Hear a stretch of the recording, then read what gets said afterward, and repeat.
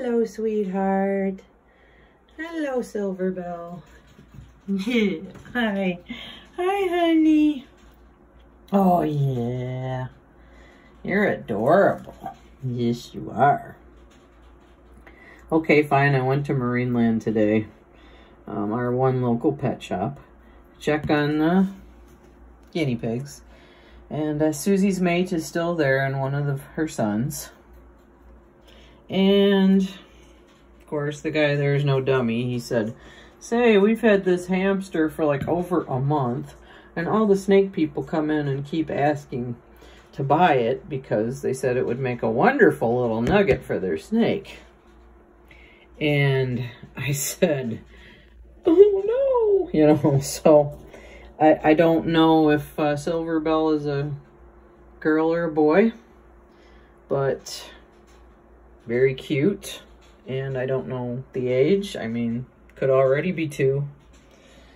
But I wanted her, I'm just calling her her. I wanted her to live out her life comfortably. And as you can see, she just loves that toilet paper tube. And she, I, I had a, hi, I had a, a wheel left. Yeah. Yes, we did. We had a wheel left. So from the last hamster we had, so I saved that and I'm glad I did because I know hamsters like wheels. And obviously she's a dwarf, so yes you are. You're a dwarf. I wonder if that's what they call a winter white. If any of you are hamster people, maybe you could help me with this. I'm gonna look it up. But and yeah, the only place I could go to get pet food today that was still open by the time I got her was Walmart. But it's okay. Um, Walmart had Browns, which is a good brand.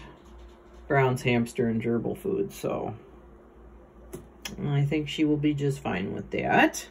This is a 20 gallon long. And this is paper bedding, all good things for hamsters. And um, Unfortunately, we had to tape up the water bottle because it just didn't fit down that far. But, yeah. So this is Silverbell. Yeah, I never ever named any of my pets that before. No, I didn't. I was a little afraid. I thought maybe she was blind in her left eye, but I mean, I'm not convinced that she's not. But now I know that she has a good home. And the staff told me that they tried to handle her, but she bit a lot, and that's okay. She, I don't have to. You know, that the brown stuff you see there, I gave her young guinea pig pellets because I didn't have anything else when I got home. But she's got the right food now. So, yeah.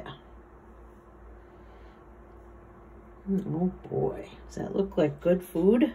Yeah. Oh, okay, you're gonna go back in your little nappy place. Okay, Silverbell. Yeah. no problem. I, I, It's not gonna bother me in the least if I never handle her, just so she has a, a good life. Yeah.